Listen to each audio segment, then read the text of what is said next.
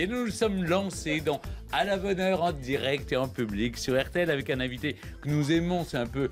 bah voilà, maintenant il a son rond de serviette, bah oui. on l'aime dans cette émission. J'ai votre contrat de chroniqueur. Voilà. C'est je Benoît Poulvorde qui est notre invité. bonjour. Et je vous présente d'abord toute l'équipe. Vous venez pour le tout, tout nouveau testament. Je sais pas pourquoi j'en mets tout, tout, parce qu'il n'y en a qu'un seul. Le tout nouveau testament. Euh, on va en parler dans un instant. Mais d'abord, je vous présente toute l'équipe. Il y a un petit nouveau qui est une voix d'RTL que les, les gens entendent. euh, Ils entendaient à midi. Maintenant, on l'entend le matin, tous les matins dans la matinale. C'est Cyprien Sini. Bonjour à tous. Bonjour Cyprien. Eh, bonjour, bonjour. On va, on va parler de, de- de tout ce que vous avez suivi sur D'Obama, le- notamment. d'Obama. Ah, D'Obama notamment, Ouais, ouais, ouais. sur internet, il y a eu plein de nouvelles infos pendant la nuit sur Obama. Ah, très bien. Et il va faire de la télé. Ah, génial, Ouais. une télé-réalité, c'est ça absolument. Eh oui, pour nous initier au réchauffement climatique. Bonjour madame, vous venez nous parler de quoi Lire une petite pub, Stéphane, comme d'habitude sur quoi Eh ben, écoutez, sur Millennium 4. Sur Millennium, ouais, c'est la sortie Non. Ça non, saurait tarder, tenez-vous j'ai- aucune raison de ne pas Ouais. donner la parole à cette jeune femme charmante qui vient tous les jours dire des pubs. Eh bien, oui, il y a des pubs sur RTL. C'est la seule radio où on annonce le sommaire des pubs. Ah mais les gens sachent avant. les gens sauront qu'il y aura un moment. On va euh, parler de Millennium. On va parler de. Millennium. À un moment, bah, ça va se glisser. Et puis Régis Maillot. Bonjour Régis. Oui, on est surpris. Le, ma- le maillot express. on est surpris d'être toujours surpris là, parce que on pensait qu'il serait licencié. Oui, moi j'ai eu un peu peur. J'ai quand même fait sa dernière chronique euh, de- ah, juste avant les Quasiment, quasiment. Franchement, Et puis vous avez non, été pointé est- du doigt. Non, vous êtes de retour. un salaire moindre, on est bien d'accord. Ah bah non, Ah, je- j'ai donné de l'argent. Ah non, c'est pas Enfin, de vrai. toute manière, mon salaire est viré depuis des années sur le compte au Luxembourg de Stéphane Je Bern. n'ai pas de compte là-bas. Ah bon? Désolé. Une banque, pardon. Non, Instant pas de banque. Régis. Alors, allez-y, au lieu de dire n'importe quoi. Bah aujourd'hui, bah, quelques maillots Vous avez quelques maillots On, express. prendra- très bien. on parlera de la rentrée C'est Oui, la Ah oui, rentrée- la rentrée scolaire. ouais. C'est la rentrée scolaire.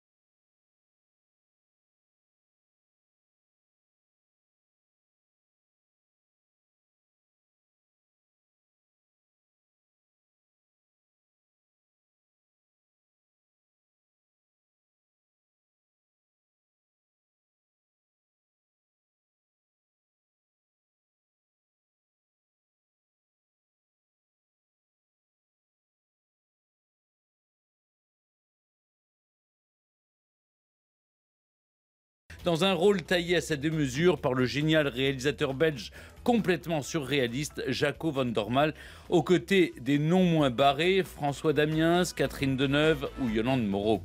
N'est-ce pas finalement très jouissif pour un acteur goûtant peu le pouvoir d'exprimer à l'écran une jouissance pour la méchanceté, pour la tyrannie sur fond de rire démoniaque? Être de mauvaise foi quand on incarne Dieu. Peut-on rêver plaisir plus divin? Dans cette comédie délicieusement poétique, le tout Nouveau Testament, il nous apporte la preuve, certes, que Dieu existe et habite à Bruxelles, mais aussi que dans sa grande mensuétude, il a offert au cinéma francophone une sorte de bon génie. Avec nous ce matin au micro d'RTL, Benoît Poulvorde. Bonjour, bonjour, bonjour. Merci, c'est très joli. Bon, très joli. on est très ému de recevoir Dieu. Euh, on a eu ici à ce micro des évêques, des cardinaux, Oui. des dingues, hein, je- envers le bien. Des gens qui n'étaient pas des saints. mais jamais Dieu en personne. Et euh, de votre côté, depuis qu'a commencé la promotion du dernier film de Jaco van Dormal, Le Tout Nouveau Testament, qui sort donc demain, et qu'on vous traite avec toute la déférence qui est due à votre... Absolument, oui, hein oui, On écrit sur ma loge Dieu. Vous n'avez pas tendance à prendre la grosse tête, non, ça va? Non, ça viendra par la suite. non, non, j'ai pas le temps, j'ai même pas le temps. J'ai même pas le temps. Oui, mais on sent, euh, c'est c'est quand même, on sent que Jaco van Dormal, euh, il n'y a qu'un Belge, faut être honnête, pour faire un film aussi poétique, aussi surréaliste, aussi Oui, c'est ça. subtil. Oui, c'est vrai, oui. Et en plus, c'est ça, il faut dire à nos amis auditeurs.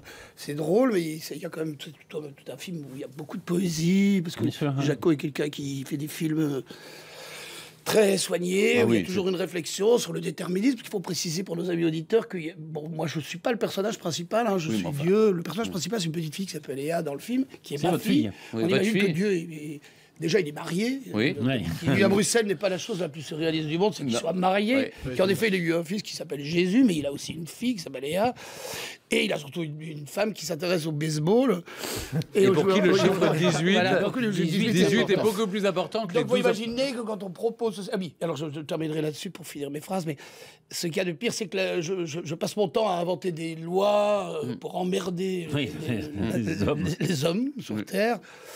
Et euh, des lois assez bêtes, hein, vous savez, comme... euh, De quel côté la confiture, le, oui, la on tombe tartine tout- la tartine tombe toujours du côté de la confiture.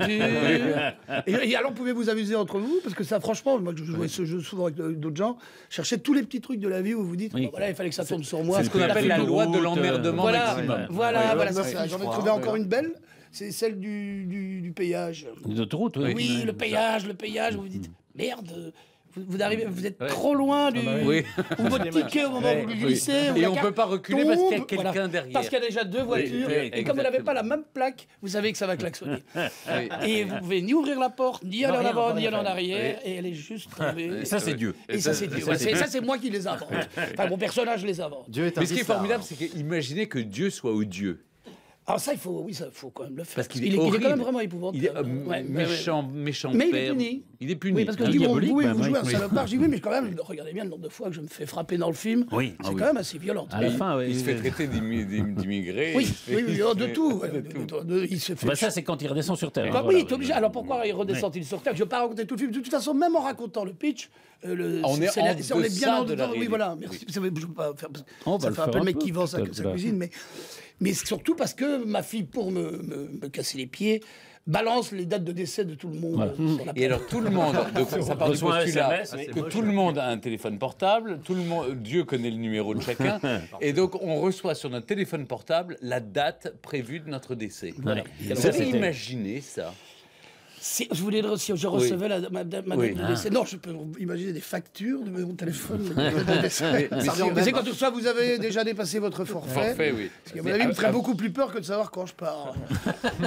Donc, euh, non, Avouez jamais- que c'est très angoissant. C'est très angoissant. ouais, Oui. D'ailleurs, beaucoup de gens me posent la question. Je pourrais la retourner à tout le monde ici. Qu'est-ce que vous feriez si vous restez euh, ça dépend Si Si combien vous de temps. connaissiez. Oui, ça dépend combien de Parce temps. qu'il Où y a un jeune type, dans le film, il y a un jeune type, et il, il- c'est un gamin de 20 ans, on lui dit il vous reste 60 ans. Et ben, il, se, il essaie de se suicider. Donc on le voit tout au long du film en train d'essayer peut de pas y et arriver. Il peut pas y arriver parce que chaque fois, il se passe quelque chose qui l'empêche de mourir. Ouais, ouais. Ça, Et- c'est l'imaginaire. Et puis il y en a une autre qui dit euh, mais non, elle, elle, elle se calfeutre chez elle et puis, euh, et puis bon, elle se prend une armoire sur. euh, Ouais, ouais, c'est- si on lui dit, oui, il te reste plus qu'une heure, il te reste vraiment plus qu'une heure. Donc euh, je ne sais pas comment les gens réagissent. faudrait que tu- Enfin bon, c'est- c'est plus joyeux que ça. hein. Oui. Ah, On rit parce que sinon tout le monde va dire oh, bah, Non, non, c'est ça. le film- Pour le, c'est ça met un désordre euh, Ah bah oui, énorme. C'est voilà. c'est ce qui me force à devoir redescendre Voilà, sur la oui. terre Donc vous êtes pour aller récupérer ma fille pour qu'elle rebranche mon ordinateur de manière à remettre un peu Et on d'ordre on peut raconter comment vous redescendez sur. Terre quand même. Oui, On peut raconter comment vous redescendez sur Terre quand par même. le tambour. par le tambour d'une machine à laver. Voilà, il faut le dire quand Ce qui me fait vous dire que quand on a proposé le scénario, enfin pas moi, mais quand Jaco a proposé le scénario, ça n'a pas été compris tout de suite. Oui. Et, et Je peux comprendre que, si tu fais le pitch en, en bégayant, oui. Mais Dieu vient par où? Bah, Par la machine à laver. Ah oui, c'est pour ça que les télévisions n'ont pas, ont Voilà. pas acheté le film, hein, c'est Et ça voilà. Oui, les télévisions n'ont pas acheté Et- parce qu'ils ont, ils se sont dit qu'est-ce que c'est que cette connerie? Oui, et quand ils ont, quand Catherine Deneuve a lu le scénario, Alors elle, on- elle a dit, je vous assure que, bah, écoutez, elle fait une apparition de, euh, je crois qu'elle est restée trois jours.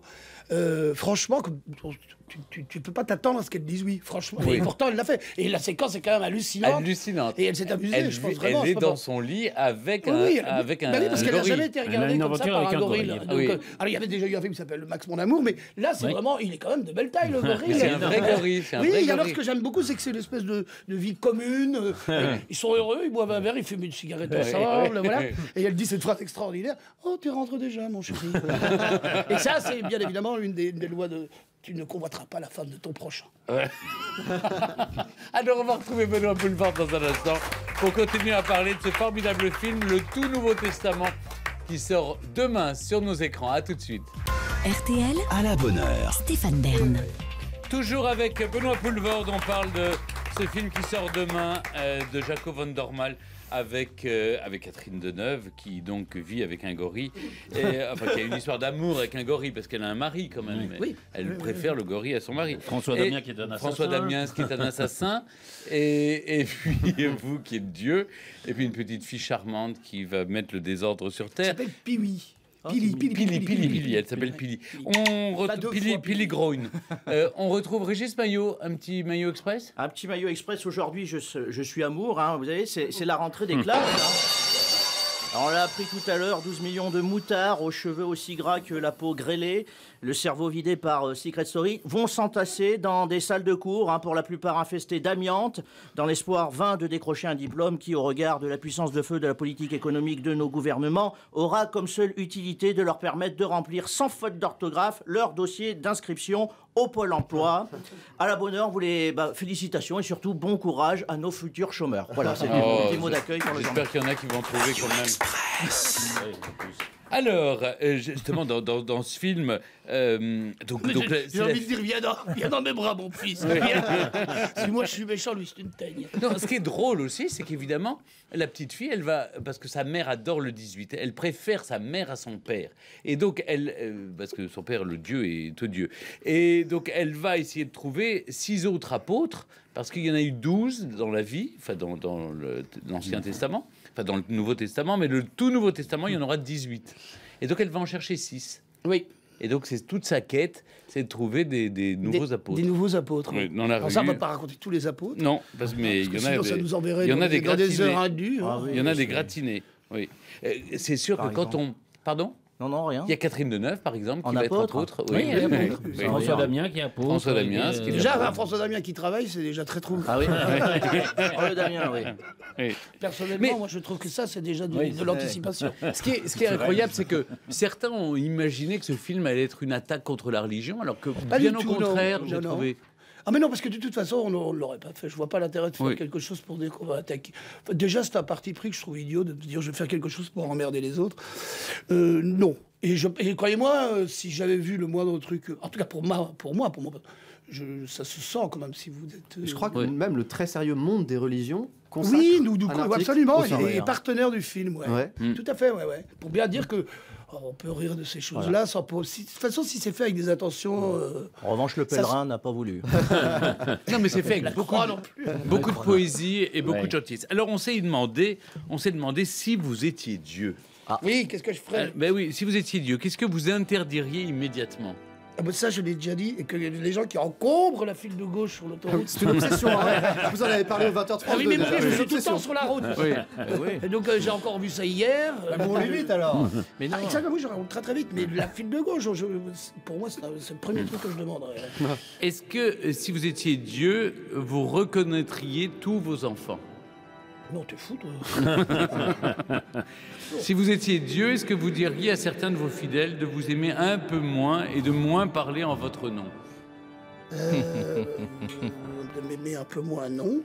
Mais de, de parler un peu moins en mon nom, oui, parce qu'en fait, ce qui est condamnable, c'est pas tellement Dieu qui est condamnable, c'est l'usage que tu en fais. C'est ça. Bien Donc, sûr. euh, voilà, c'est souvent ça qui est, oui. C'est souvent un truc assez où tu te dis, euh, on devrait peut-être résoudre les problèmes en, en se disant, mais très souvent, tout ce qui est utilisé avec la forme de Dieu euh, est souvent fait par des personnes qui sont un peu esselées, qui se sentent un petit peu dans le dans, dans l'amertume, dans quelque chose. Donc je pense qu'avant de prendre les problèmes de la religion, de savoir si vous, vous aimez une religion ou pas, des hommes. c'est plutôt de se dire oui que les hommes on, on- on devrait plus se- se remettre dans un système pour écouter les autres et de manière parce que c'est beaucoup de frustration. Plus que Dieu c'est plus une envie d'être écouté de, de se rassembler de pouvoir parler que pour moi c'est les problèmes de religion c'est des, des fausses des faux prétextes. Question essentielle. Si vous étiez Dieu, est-ce que vous resteriez belge?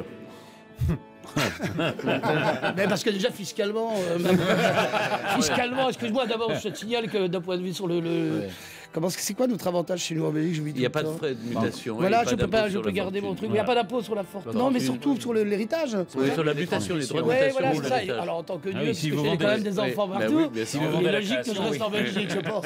Mais j'irai pas à Monaco. En Dieu tant ou pas que- Dieu, j'irai. en tant que Dieu, on peut s'inventer un paradis fiscal facilement. quoi. Si vous étiez Dieu, est-ce que vous continueriez quand même à soutenir les Diables Rouges Ben oui, parce que regardez bien dans le film, il n'y a pas de, il y a pas de diable. Oui. Les Diables Rouges, je le C'est rappelle, le- c'est l'équipe de pense que foot. le- le de diable, foot, Dieu- ouais. Dieu est diable, Dieu, est diable à la fois. diabolique. Oui, oui, oui, tout à fait. Eh bien voilà, il a bien répondu. Si j'étais Dieu, je vais vous écouter